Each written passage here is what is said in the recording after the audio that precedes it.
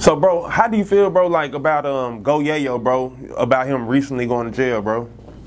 Man, Like I know there was yeah, a yeah, I know there was an artist, bro, that you you actually fuck with, bro. Um, he stayed he stayed on your channel for the longest, bro. Like, yeah, he got some he got some fire hits on your shit. Yeah. Like, like how do you feel about that shit, bro? I mean, shit, that that shit fucked up, but at, that shit, at, sometimes ain't nothing you can do about it. You just gotta wait that shit out. Right. He'll be home soon.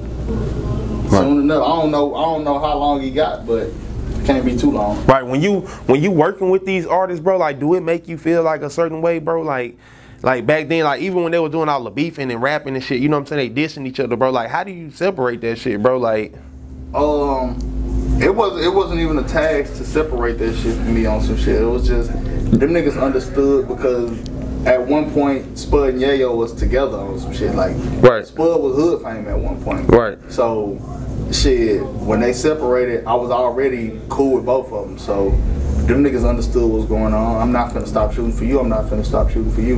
It is what it is. They, I didn't I ain't gonna lie to you, I didn't even know that shit. well, I, you ain't know this I, I, I, hood fame? hell no, I didn't. That's great, Don't yeah. look back on some, some of this video. You're gonna be saying Hood Fame MVP or Hood Fame Geeked Up Gang on some shit. Yeah. Check it, just mention. Yeah, I don't remember that. I swear I don't. That's crazy. What was Hood Fame starting out? Starting out. Yeah, what what like what do you think like kinda like broke them apart? If I remember correctly, I think that shit was over a bitch or some shit, some gay shit, some shit that Some crazy shit. that didn't even matter. That turned into some more shit. You know, niggas get to talking and egos getting in the way, and Right. it just turned. It just spiraled out of control. Right. Shit. Right. Okay. Um, and then like kind of fast forward like a little bit. Like I remember um around the time when everybody was hood fame. You know what I'm saying? And uh, then we talking about like CJ now? CJ and them right. Uh-huh. And then we seen something happen that I didn't think that was gonna happen. Like I seen uh the six pick. You know what I'm saying? I seen Trap and. He, he get all the Fort Worth artists and Dallas artists. They come together, bro. You know what I'm saying? Like, I hear a lot of people say like if if Fort Worth like I just seen an uh, interview with Rainwater. You know what I'm saying? He said like they blew it. You know what I'm saying? Uh, Hood fame they blew they blew their opportunity. You know what I mean? But I feel like if all those artists that was in that six Pig video, I feel like if they would have just came together like all the other states, I feel like it would have blew. Yeah, it would have blew bigger. It, it would have blew big. It would have had the. I feel like it, would, it probably would have had the uh, record labels really just they they was already tapped in, but I just feel like it would have just been bigger. Yeah, them that that certain group of niggas, if they could have if they could have stayed together on some shit, I mean they all still together. Like it's just CJ and, and, and stopped fucking with each other on some shit. But if they could have if they could have took that same six niggas and kept doing some shit, that shit would have been like a powerhouse on some on some DFW shit. Like Right. yeah, yeah. You think they would have been like that? We could have did the selling our shows and stuff like that. Absolutely. Yeah. Absolutely. And niggas don't know, like, nigga, I'm the reason that Get Money Loreni and Yella even know each other on some shit. Oh, for real? Like, back in, like I said, I, I grew up with Chucky. I met Yella back in 2013 on some shit. Got you. I'm the nigga that introduced them to each other. I remember showing Yella Chucky for the first time. He was like in the barber shop freestyling on some shit. And he was like, this nigga tough. This nigga hard in the motherfucker. Who's cuz? And then, you know, they both street niggas. So when I when I connect them, they just link together on some link. street shit. And they they've been cool ever since then. Right. And it was it was Chucky and Yella at first. It ain't had nothing to do with Yayo Right. in the beginning. It was Chucky and Yella. Right. Now I feel you. Like what? Like what? Um, what you think? Like stop that, bro. Like what you think? Stop them just from all just staying together, bro. Uh, I mean, technically they all are still together. Like Chucky Yayo still fuck with Trap and Yella. CJ still fuck with Trap and Yella. It just CJ and Yayo don't fuck with each other no more. So that same six could. You think? You think that shit could ever get fixed, bro? Yeah, Yeah. I think so. It's just I don't know. It's just I guess it depends on what type of time Yayo on when he when he get home on some shit. Right. It, I feel like it could, cause it's never nothing serious really happened behind that shit. Right. Not for you. Not just as far as you know what I'm saying, uh, you filming and stuff like that, bro, you you still have a lot of body of work out here too, bro. Um, I feel like I know people may not understand your um, where you trying to go with it, but I heard you saying a couple of interviews like you like I heard you say mention like QC. You saying you want to be like QC. You want to Yeah, have yeah. like the the the artist behind you. Yeah, like I ain't gonna lie to you, bro. Like um, at the time, I remember you start bagging up off the, the films, and I and I, probably, I was one of those niggas out there like, man, what the fuck this nigga doing, man? He got the biggest movement. Like, like what the fuck? Why he putting down the camera? Like, why he ain't pushing that shit? You know what I'm saying? Like, I was one of those niggas, bro. I ain't gonna lie to Yeah. you, bro.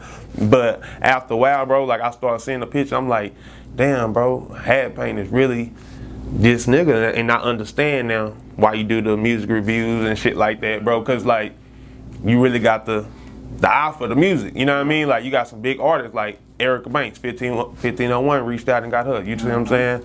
Uh, even I feel like Tuesday, that nigga's Yeah. cold. You know what I'm saying? Like how, like what what makes you see these artists, bro, before they just get to, you know what I'm saying? To they, I just feel like I know talent, bro. Yes, you see it. I know real talent on some shit that ain't had nothing to do with how much buzz they had, you know, shit like that. But Right. like Erica, she was nobody when she came to us. She started building the buzz with us, then went to 1501 and, and blew up. Yeah. Tuesday, he had a buzz already, but he wasn't who he who he is today on some shit. Yeah. Yet. But I knew his potential on some shit. Right.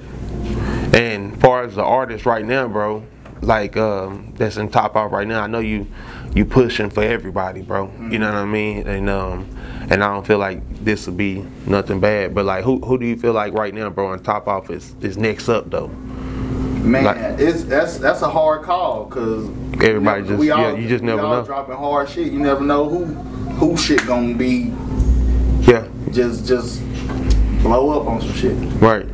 Is you is you looking to uh to add somebody else to uh, top off? Well, you just added. Did you just add somebody else to top off? Mm-mm. No, you got an artist out there in um. What that top off? Uh, it was like out there in Corpus Christi or something like that. That's Lil Bree. He ain't there. Nah, he been top off. Since He been top one. off? He was top off before me. Damn. Yeah, he Damn. just niggas just just he just yeah he just be bullshitting on some shit like that. He Yeah, he rap don't be he rap every two years on some shit. Yeah. Yes, he. If you look, if you go back, you'll see him and his brother. They got songs with Tuesday and Queen and shit like that. Got a million Million views views? already. Yeah. So yeah, he he in there right now. He been top out. He was top out before me. Yeah. Okay. Okay. I, I seen you made the comment on it, bro. Like, how do you feel about DaBaby situation right now, bro? What's getting what's getting um, done to him? He's he's being blackballed right now. Man, I feel like first of all, I feel like anybody that's blackballing him probably wasn't a real fan or listening to him in the first place anyway. Right. That just be motherfuckers that don't even listen to your music anyway, saying they canceling you. Nobody that's listening to his music is stopping listening to his music over that shit. His fans are still his fans. Right. But it is it is fucked up the way it's going because I, I feel like he didn't even say nothing wrong. Right. Or he didn't even say nothing pertaining Do- to do you think- Regular nigga shit. Oh God. Right. Do you think it's it, do you think it's that, bro, or do you think it was the whole Tory Lanez thing, bro? Because you know this shit didn't go down until like Yeah, but I'm at the show. say You remember at the that- show? Yeah, yeah, yeah. That that probably added to the heat on some shit. Like He brought that nigga out. most of Megan fans are probably like gay people on shit. That's that's what any Okay. female artist. Most of their fans are gonna be like gay. So I could I could feel that that that that that added fuel to the fire that he was already finna get. Right. Right. That's crazy. Do you feel like uh, you feel like because a lot of people like saying, but I know he makes a lot of money. You know what I'm saying? But um, that's a lot of money he missed out on too. You know what I'm saying? You think that like it hurts him in, in a way with them festivals? Nah. You know. If Fuck anything, no. it's promo. Yeah, I already got half of it. I'm about to say it, it. Man, he could never do another festival in his life, and he good regardless, bro. But he don't even have to rap no more. The shit that he done did already, he's good forever. Right. So it ain't. I ain't gonna say it's, it ain't hurting him, but it would help if it was still there. But it ain't hurting him, Right. Nah, I feel you. I feel you. and that should have come back around. Yeah, I um I, I even been hearing people say like he should just start doing his own festivals. Like I think that should be He should. be good. And then I feel like come tap in with like you know local artists and shit like that who's buzzing in the city, throw them on shows and shit like that, and you know Definitely. And Yeah. he the type of nigga that'll do Yeah. that shit too. Yeah, he got the power too. Bruh, that nigga don't take no L's. Don't be surprised when he bounce back from this Not shit. with. That nigga gonna find a way to Yeah. overcome. To overcome. Every time. To goddamn be anything. Yeah. Nigga ain't took no L's. Niggas trying to punk him in Atlanta and shit. Niggas ain't. He ain't going for it. I fuck with Jonathan, no cap. I feel you.